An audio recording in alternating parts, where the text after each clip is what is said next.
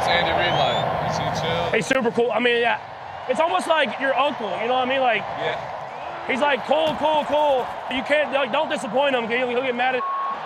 But he's gonna give you freedom to uh, do what you want to do. The